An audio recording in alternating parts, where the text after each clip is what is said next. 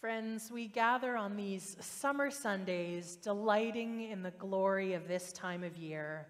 From here in our sanctuary to cottages, campsites, and virtual spaces near and far, we make up the community of Parkminster. Being together in this time and in these places, we lift up our voices with praise and delight. We are the body of Christ. We are connected by the Spirit. And so we light candles together this morning to remind us of that truth.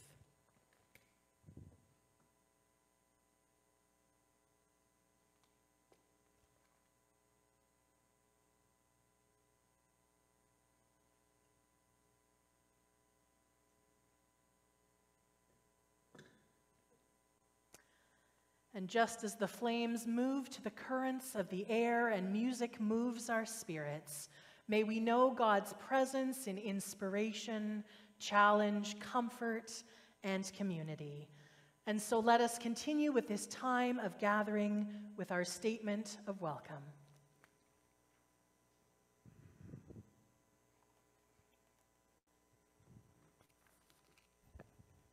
Good morning. I'm Wendy Ridgway, and welcome on this sunny and bright Sunday morning. Please join me in our responsive land acknowledgement and statement of welcome. We begin our service with gratitude and respect as we remember together that this land, this planet, is sacred. We are on holy ground. Earth is our only home. We are bound to it and all who live here. In this summer season of green and growth, we are grateful for the way the earth sustains all life. We lament that we have not paid attention to our deep relationship with the earth. We commit to learning and practicing better stewardship. We have a binding relationship with the Haudenosaunee, the Chonnonton, and the Anishinaabe people who have cared for and shared this land for millennia, and with other indigenous people for whom we live, with whom we live. We lament that settler peoples, governments, and the church have rarely respected this relationship. Treaties and trust have been broken. We all live with the consequences. What could trust look like?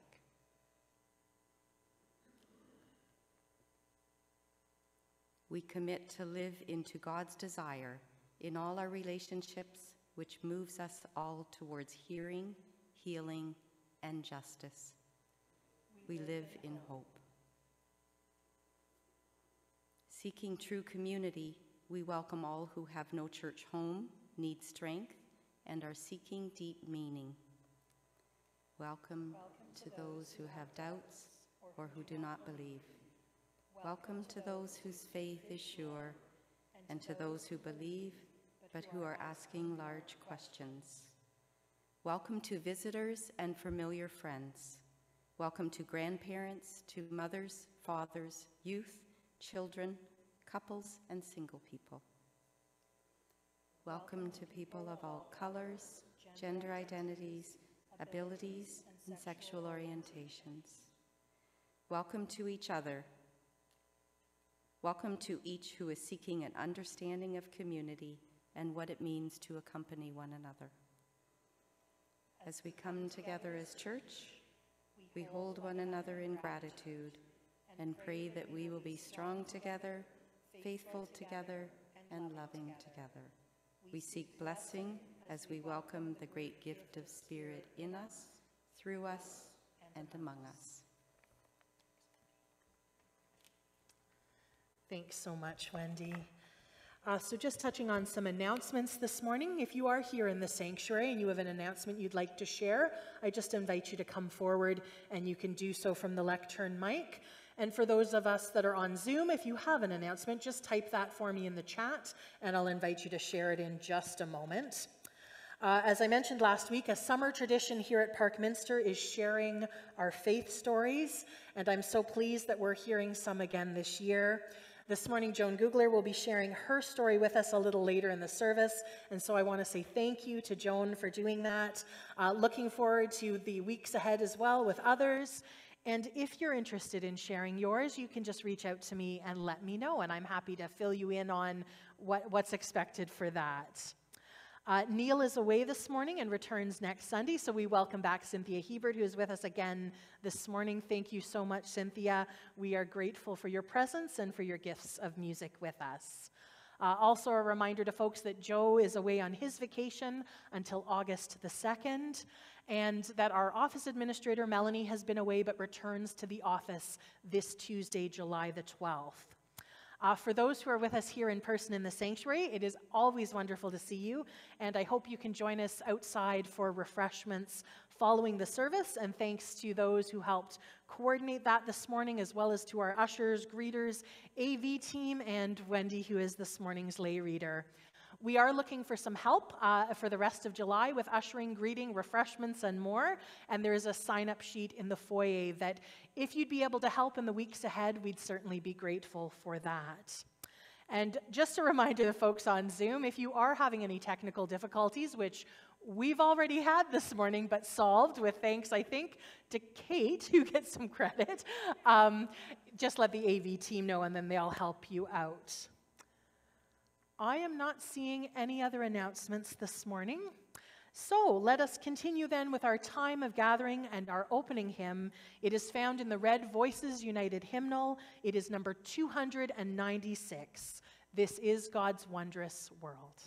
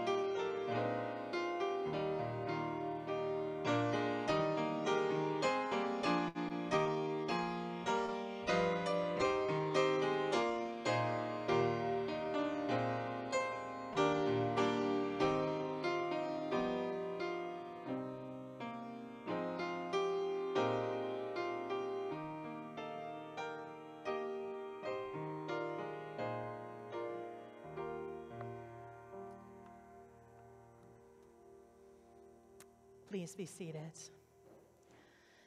And so, as we hear a story from our faith tradition and listen for the word of God within it, let us prepare ourselves with prayer. And so, I invite you to join with me in the words on the screen. Let us pray.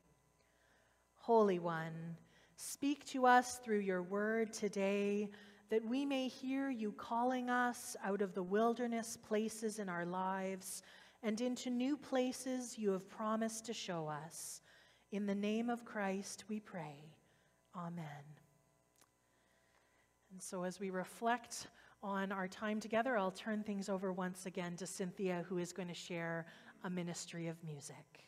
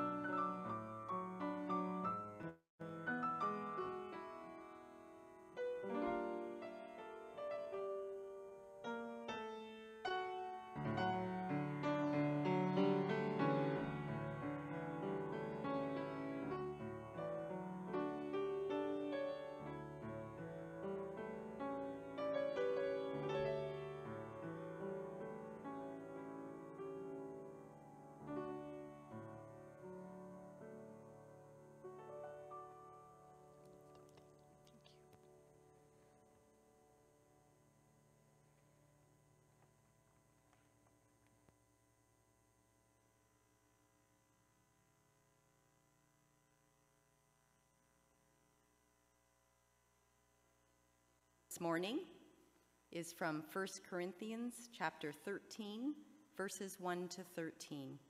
I'm reading from the message translation of the Bible. If I speak with human eloquence and angelic ecstasy, but don't love, I'm nothing but the creaking of a rusty gate. If I speak God's word with power, revealing all his mysteries and making everything plain as day, and I have faith that says to a mountain, jump, and it jumps, but I don't love, I'm nothing. If I give up everything I own to the poor, and even go to the stake to be burned as a martyr, but I don't love, I've gotten nowhere. So no matter what I say, what I believe, and what I do, I'm bankrupt without love. Love never gives up. Love cares more for others than for self. Love doesn't want what it doesn't have. Love doesn't strut, doesn't have a swelled head, doesn't force itself on others, isn't always me first, doesn't fly off the handle, doesn't keep score of the sins of others, doesn't revel when others grovel, takes pleasure in the flowering of truth, puts up with anything, trusts God always, always looks for the best, never looks back, but keeps going to the end. Love never dies. Inspired speech will be over someday. Praying in tongues will end. Understanding will reach its limit. We know only a portion of the truth, and what we say about God is always incomplete. But when complete arrives, our incompletes will be canceled. When I was an infant at my mother's breast, I gurgled and cooed like any infant. When I grew up, I left those infant ways for good. We don't yet see things clearly. We're squinting in a fog, peering through a mist but it won't be long before the weather clears and the sun shines bright. We see it all then, see it all as clearly as God sees us, knowing Him directly just as He knows us. But for right now, until that completeness, we have three things to do to lead us toward consummation. Trust steadily in God, hope unswervingly, love extravagantly. And the best of the three is love. This is good news for all who need it. May we be blessed with a deep need for grace.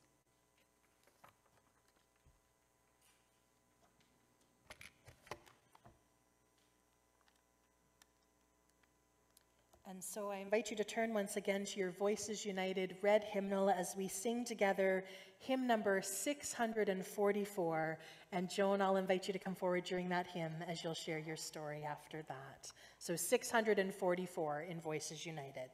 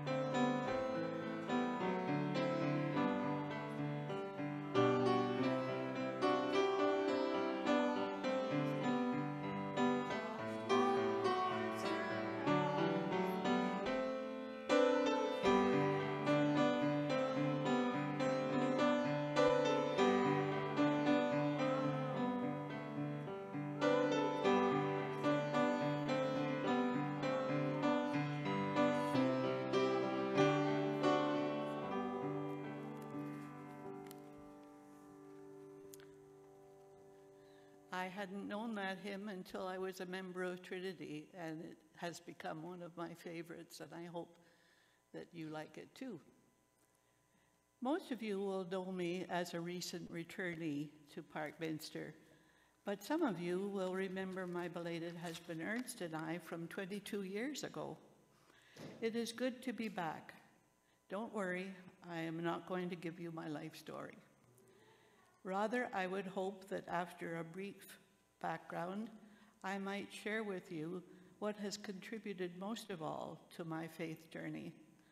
It may surprise you to know that it wasn't my diaconal training or our years as overseas workers with the church in Nepal. When I transferred my membership in May, Reverend Joel mentioned that I had been a diaconal minister for 62 years. I would just like to clarify that although I was designated a deaconess in 1959, I only served two churches in Cornwall and Ottawa, where I met Ernst. We were married in 1966 and spent the following four and a half years in Nepal, where Joy and Peter were born. Upon return, Ernst went to Western University for his MBA to ease out of engineering and into management, and his study became a nursery for Stephen. While we were active in any church we joined in the years that followed, it didn't seem possible to go into working in a professional way. I did serve as director of outreach for one year, however, in a Presbyterian church in Simcoe. In Tillsonburg, I returned to teaching English as a second language for five years. From 1972 to 1992, when we moved to Kitchener, my faith journey had its ups and downs, like most of us have. What stands out was my continuing education, I'll call it, in small groups, and this is what I will highlight. And thank you, Roxy, for paving the way by speaking of your experiences last week in taking the course at Western under Professor Gerard, whose wife, Andre, I was so pleased to meet when a member here at Parkminster. And we didn't even correspond, or we didn't even connect with one another to uh, make this happen. One workshop was at Five Oaks in Paris, Ontario, called Telling My Story, Sharing a Faith. 20 of us were a test group before the material went to print. We were in pairs, then small groups, and then the larger group, our faith deepening as we took turns sharing a time when God felt real to us. This was what Indian theologian D.T. Niles described as witnessing one beggar telling another beggar where to find food. If I was to give an example of perhaps I, something I might have shared, um, it would be after Ernst's death when we were planning a memorial service a month later and a celebration of his life in our backyard in Grand Bend where we were living in his retirement. And we were moving the picnic tables around so that people could use them later on tables that he had made, and one of which is outside the church here. Anyway, um, all of a sudden, a great swooping sound from the trees came to our ears, and we looked up, and it was hawks, a whole, I don't know whether you'd say flock or anyway, a whole group of them. Well, it was just such a Pentecostal moment, really. Here we were getting ready for a service for Ernst and in his memory, and we just knew that God was with us when this happened. I think it was what a friend of mine, Twyla, called a God moment. Another group to which I belonged used Julia Cameron's book, The Artist's Way. It was all about creativity, which I never thought I had based on my inability to paint, act, or dance. I had confused talent with a much deeper sense of God given gifts that we all have. It was wonderful at age 60 that to grow spiritually by pursuing daily activities like keeping a journal called Morning Pages, walking alone and listening, and going on an artist date once a week, which could be anything from going to a greenhouse or choosing wallpaper, for example. These ordinary activities were transformed and got the creative juices flowing. We met weekly to share our discoveries. This and Cameron's sequel, The Vein of Gold, gave me new direction thanks to the writer's insights and the group's affirmation. The Spirit of God moved among us. At our church in Simcoe, a study called Practical Christianity had come, had some innovative assignments. We were passed, we were paired off with a different person in a group, in the group each week, with whom to check in regarding their assignment. At our weekly session, we would see a film, for instance, one about Jesus being a clown, I remember vividly, that provoked discussion, and then we would be assigned a task related to the material. For example, we might be asked to sit in an emergency waiting room, hospital waiting room, to emphasize, empathize with other people and what they were feeling and speak to at least one person. One woman in our group felt these assignments were too much and was going to quit, but she was back the next week. I returned to Five Oaks, as I have many times over the years, to meet with others in a common life community four or five times a year to share our faith journey, as I am doing here. And that's where I met Don Linkletter. For a while, he was in a part of our group, and we decided that we would each have a chance to tell our story of our faith journey so that we'd get to know one another at a deeper level. And after all that was done, we tried to support Five Oaks by giving money and time to some of their projects, like the library in the Indigenous Center on the grounds, and also enabling a group from Toronto of women who were single and ostracized because of their financial situation to come to a place like Five Oaks. And I've left the best to the last. Here at Parkminster, I attended a Listening for God group where I got to know Elna Robertson and Liz Ford and others. And I'll never forget our discussion of a small good thing, a story by Raymond Carver in one of the volumes of Listening for God, of which there were quite a few. And these were all American writers. We, we thought there should be a Canadian edition, but at any rate, um, we uh, would read the story at home and then come together and discuss it. And there were excellent discussion questions. Uh, some of you may know the story of a small good thing about a young couple who had a son who was coming up to his eighth birthday. And the mother wanted to get a cake and have a special design on it and his name. And so she went to a local bakery where she didn't know the baker, and he was an older, kind of grumpy man, but she didn't expect anything more for some reason. Anyway, she went away, and in the meantime, the son was in a car accident. And although initially he got up and seemed okay, and the driver went on, he was hospitalized because at home he just became very limp and comatose. And the mother was very anxious about him. And in hospital for two or three days, he just slept, didn't wake up. And even the medical staff thought that was very unusual. And they got to the point where they were going to try surgery because there was something wrong with the skull. And he died.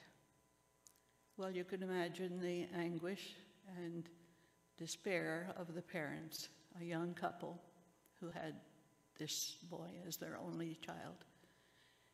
And in the meantime, both of them had received calls from the baker wondering why they hadn't picked up the cake. And they didn't, he didn't say actually that he was the baker, uh, but he did mention the name Scotty that was on the cake. And it just seemed finally to dawn upon Anna, I believe the mother's name was, Anne, that it was this baker who had been calling and calling and interrupting any time that they had been at home to get refreshed and refreshed. So they decided to go to the bakery and give him what for, and their language was not very polite. And they really, the mother, in giving vent to her grief, was very angry and finally said their son had died. Well, you can imagine the poor man and what he felt. And he asked their forgiveness time and time again. And then eventually, he just knew that perhaps they were hungry, that they hadn't eaten or slept for days. And so they sat down. He invited them to sit down at a table, and he brought out of the oven freshly baked rolls and to encourage them to eat and eat. That it was just one small thing, he said, that he could do. And they had coffee, and they never left, at least not for a long time. And so, one of the questions for discussion afterwards was the following Carver has said, I don't know if I believe in God, but I do believe in miracles. How does a reader who does, in fact, believe in God experience a small good thing? Guarding against the tendency to turn it into what we might want to, it to be, or to say, what might a genuinely religious interpretation of this story be? Well, you can imagine there were all kinds of answers. Not unlike communion, if you think in terms of what we do when we share communion.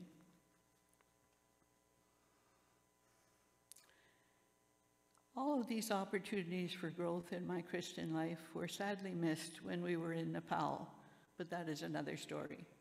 I mentioned it here to highlight the opportunities we have in Canada and in the United Church to learn and grow, whether it is by Zoom or in person. What a wealth of opportunities for spiritual growth there are here at Parkminster. I sense that there is still an emphasis on listening for God, even though the books are no longer available. For example, the, the Committee on Diversity and the people who reach out to refugee families or the people at the Better Tent City and you know how many other groups there are that have been formed just so that people can really try to be of some service in the church and in the community. And they're listening for God as we do when we come together for worship through the hymns, through the prayers, through the sermons, through the windows. But we also need to listen for God, I believe, and this is the message that came to me as I was preparing this to the news, of course, and to our neighbors, and in places that we might not even think that God is present. But I am so glad that I've been a member of the Lenten Pause group led by Reverend Joe, where we at times have had times of meditation and journaling as well as dialogue after watching a short film.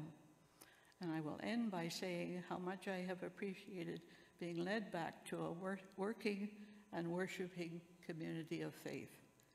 Thanks be to God.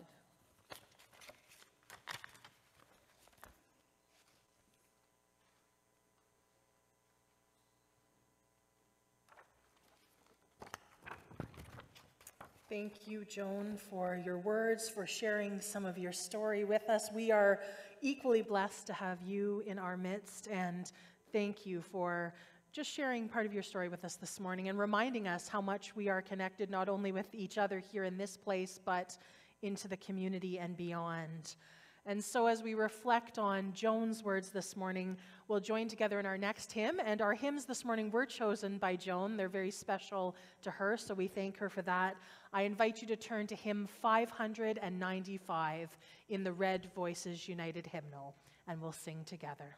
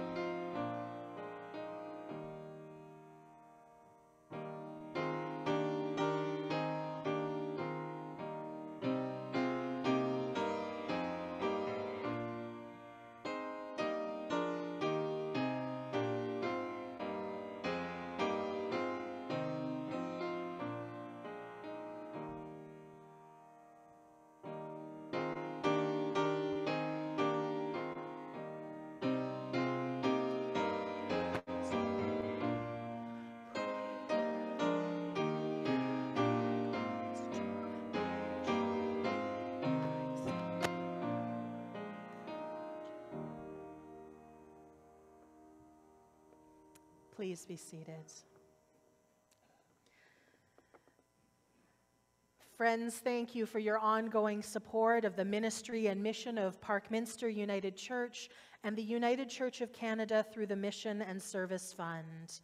Because you give, the reality of love's presence and persistence is revealed in this place and in the world. And so let us pray. Holy One, we join with you in the joy of giving. You give us life and breath. You fill the world with beauty and our hands with bounty and our hearts with the desire to give. Accept these gifts and ourselves in your service. In the name of love, we pray. Amen. And so, friends, staying in this time of prayer, let us come together and share the yearnings, the struggles, the joys of our lives. And if you have any concerns or blessings that you'd like to share this week, uh, for those in the sanctuary, I'll come down in just a moment with a handheld mic, and you're welcome to share. And for those on Zoom, you're welcome to type in the chat, and I will share those in a moment. And again, just a blessing for Joan for hearing her words this morning. We thank you. And for Cynthia and all of her gifts of music today, and for all who have contributed in worship and our time together this day, we say thanks. Do I have any takers for the microphone? You're going to be quiet this morning. Oh, Cynthia, okay.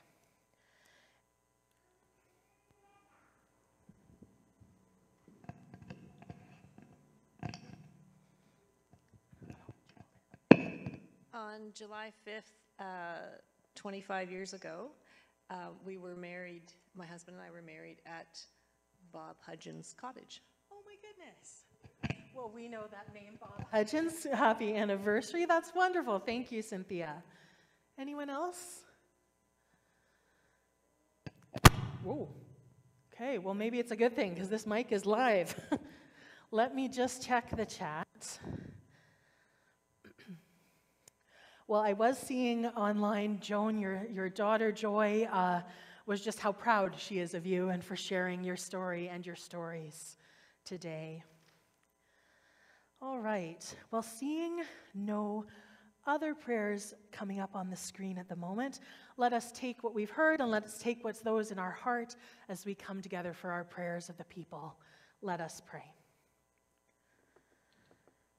Holy One, you claim us as your beloved from beginning to end. Reassured and emboldened by this good news, we uplift our blessings and concerns to you this day knowing nothing separates us from you and your love for us.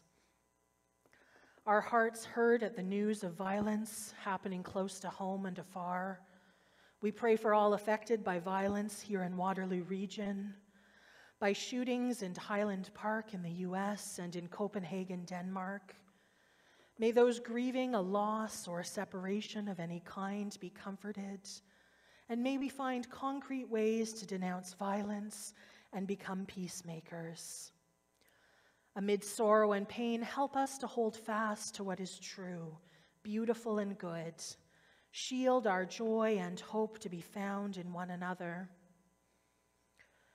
Holy One, keep watch over all those who have been uprooted from home and seek safety in unfamiliar, even inhospitable places.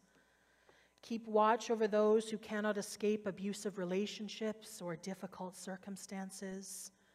Keep watch over those who have nowhere to go. Creator God, we hear the laments of our desecrated earth, yet we continue to wreak havoc on our environment. We hear the news of floods in Australia and India, a landslide in Peru, and a tropical storm in Nicaragua and El Salvador. We cannot deny the ways our changing climate is reshaping our daily existence, often most effectively affecting those who are marginalized. Help us to be accountable. May we recognize and work together in this interconnected world where our actions affect others. So much seems irreconcilable at times in our families, homes, nations, creation. Let us turn over to you what feels insurmountable or impossible in our lives. Continue to remind us that your love and grace have no end. We pray for all those living amid turmoil, division, and dispute, including our siblings in the United Kingdom during this turbulent political time bring a sense of humility and compassion to world leaders so they look beyond self interests and better serve their citizens, especially the oppressed and the vulnerable. And give us the courage to claim the spaces where we are leaders and to name our responsibilities in caring for one another. And so, in this spirit of caring, in a time of sacred silence, we lift up all that has been shared together this day as well as those prayers held deep within our hearts.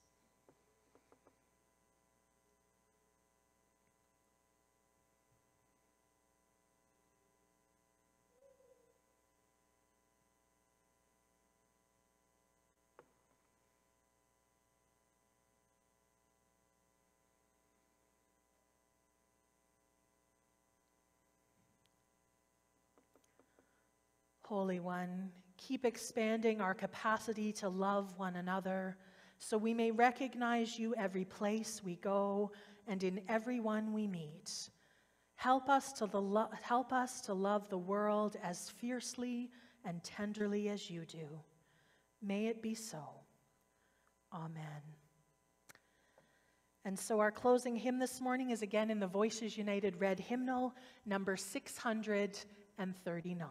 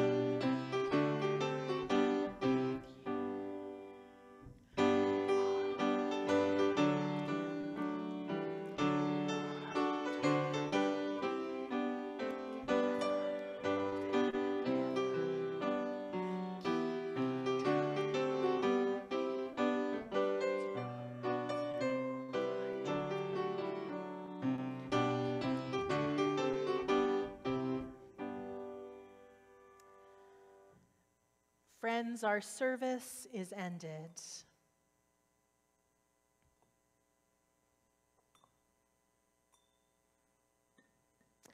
And just as the flame is a symbol of Jesus' real presence with us in our worship, so the smoke is a symbol of the Spirit going with us, the very being of God absorbed into our everyday living.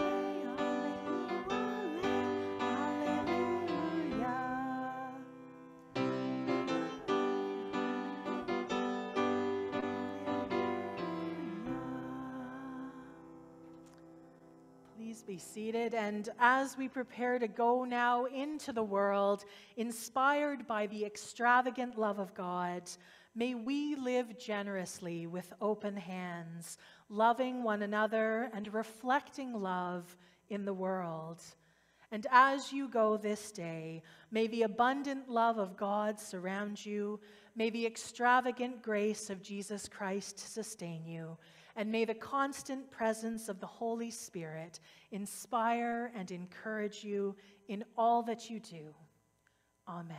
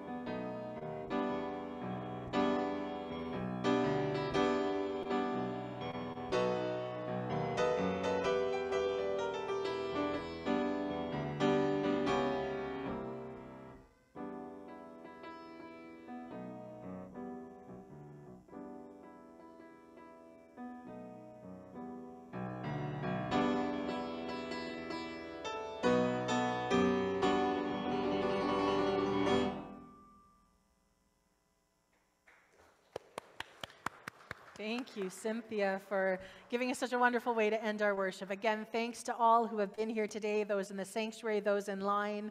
Uh, in just a moment, I'm going to end our Facebook recording, so thanks to those who have been with us that way, and I'll be ending the Zoom recording and meeting as well. So we hope to see you another week. Again, love to see you in person in the weeks ahead, but have a wonderful summer, and thanks for being with us this morning.